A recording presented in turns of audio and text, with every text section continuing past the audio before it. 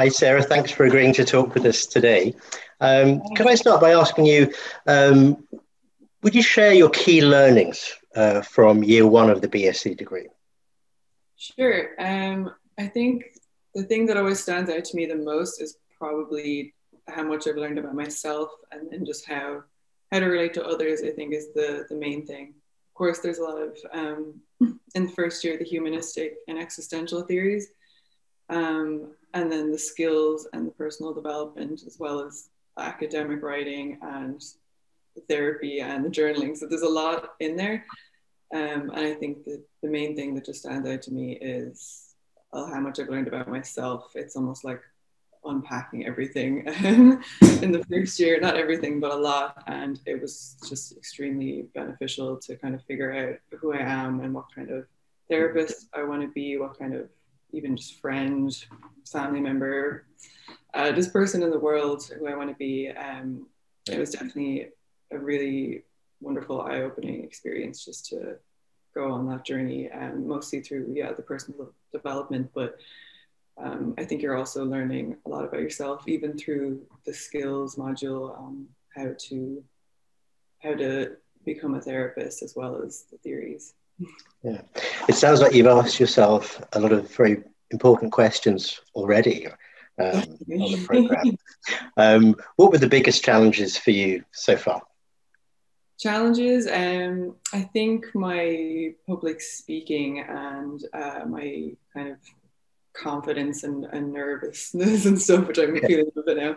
I think that was the the biggest challenge I think I found in the skills module. Um, just just that kind of stage fright or mm-hmm. trying to learn the right things to say but of course i just need to be more patient and that takes practice. Um, um, i think that would be the main challenge and also maybe just again having the confidence to speak up in class but um, i have seen it progress as the year has gone by so it's again just being patient with the process and yeah. not trying to be perfect at it uh, first, first time around And how is the program uh, different to previous courses you've done or learning experiences that you've had?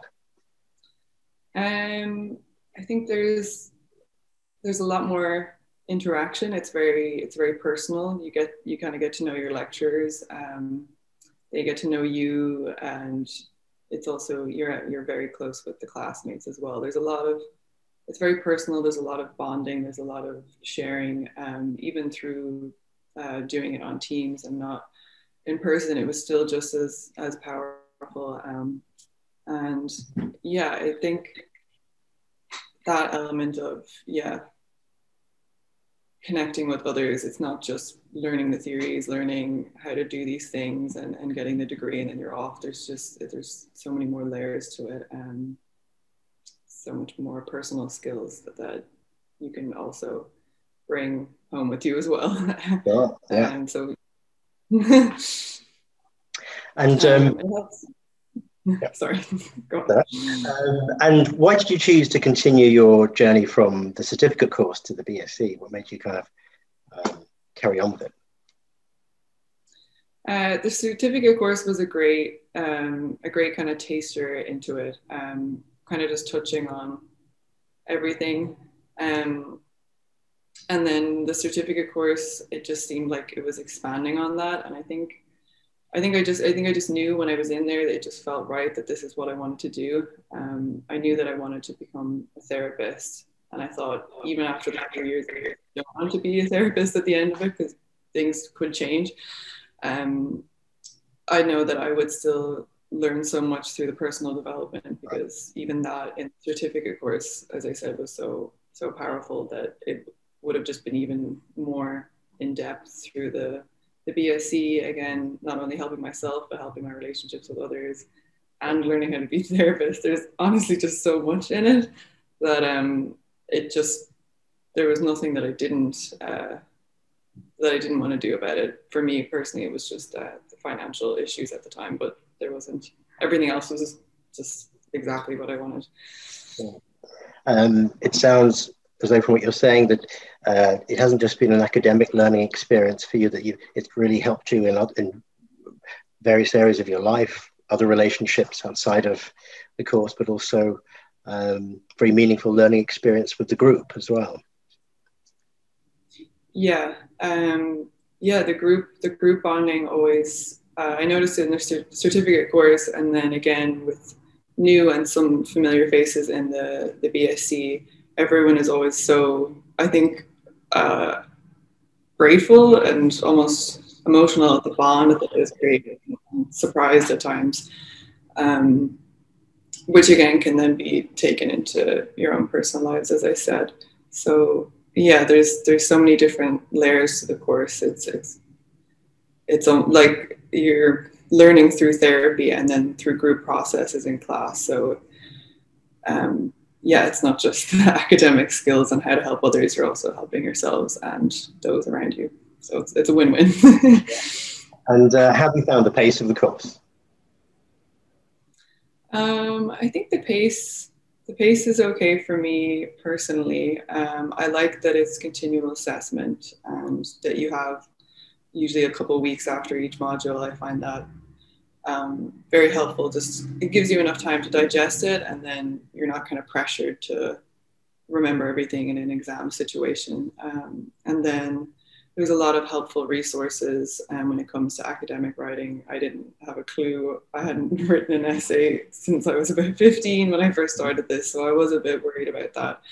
But I've been learning it the whole way along, and it's been fine. And there's so many videos and tutorials and everything. And as I said before, it doesn't need to be perfect at the beginning. You're constantly learning along the way, and I think first year is really good for that. For um, just kind of learning as you go. And then I think by the time you go into second year, you feel a bit more yeah. like know how to do it. sure. And um, have there been any theorists or, or approaches that you've encountered so far that have particularly appealed to you?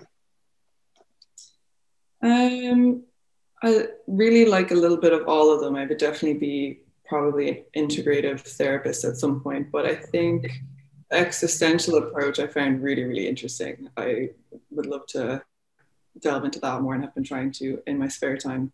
Um, probably Irvin Yalom would be one of my favorites. Um, I just think he's very honest and I really like that and authentic and I like that approach that he has.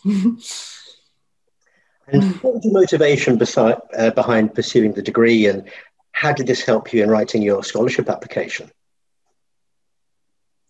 Um, for me, I think it was just my own personal journey that um, motivated me or drove me to the course in general, the certificate and the BSc. But um, just not being able to go to college when I finished school or finished secondary school due to my own um, personal and mental health uh, struggles. So I was just blessed enough to have those resources myself, good therapists and uh, family and support. So there was just a very strong drive in me to be able to give that back now that I'm in a more secure, healthy place to do that. So that was definitely the, the main thing for me. I just, there was so much uh, kind of gratitude and passion there to kind of kind of pay it forward or so. I don't know. I just, and I just find it so interesting as well. Um, so I thought I could share what I learned personally and then what I learned in the course and hopefully help people yeah. eventually. What you're saying there, so actually leads me to my next question, which is about um, what your future goals or, or, or, career objectives might be. It sounds like you're someone who's benefited very much from uh, thera- good therapeutic support yourself in the past. Uh, is there anything, any area you'd like to go into in the future? Um, I don't know. I have a lot of different kind of ideas that are kind of changing. I've just as I kind of mentioned, I've been very interested in the integrative approach within psychotherapy, and then also kind of um, in general health, kind of connecting mind, body, and, and spirit, and looking at the different elements. But I think specifically with psychotherapy, um, uh, yeah, I would like to be an integrative therapist, or maybe help people with specific maybe issues that I've had experience with, but also would like to branch out and learn more about things I don't know as well. Um, so I'm not too sure yet. some type of therapist anyway, but um, yeah. Thanks, Sarah. And um, can you share the, the key takeaways that might help other students who are planning to apply for the scholarship? Any pointers for them? Um, I think when I think about where I was this time last year applying, um, well, I remember hearing about it first in the certificate course, and uh, initially I thought, "Oh no, I can't do this. I won't be able to get the scholarship." And maybe it's for people that are better at writing, or I don't know. I thought it was almost more of an academic thing. And then when I heard that what it was about, um, there was just there was just a strong feeling within me to pursue it. So when I was applying for it, um, I just tried my best to be to figure out why I wanted it truly and sit with that and trying to figure out what exactly I want from it and then just be authentic about that and be honest and I think just being super honest and real about why you want it and that's exactly what I did. I didn't try to make it seem any kind of way. I just poured my heart into it and said this is this is what I want to do. This is this is what I want. If you think I'm good for it, then that would be great. Um, so yeah, I think be yourself. That's the best thing I can advise. as corny as it sounds, it's true. Not at all. It, it, it, sounds as though by being authentic and really being yourself and expressing that, that's that worked for you. That's kind of what therapy is all about in many ways. Yeah. Um, yeah. And um, any piece of advice you have for students going into year one? Perhaps they might have come from the cert, they might be coming from a, a different background, but um, any any uh, tips for them? Um, I think maybe be open-minded and excited.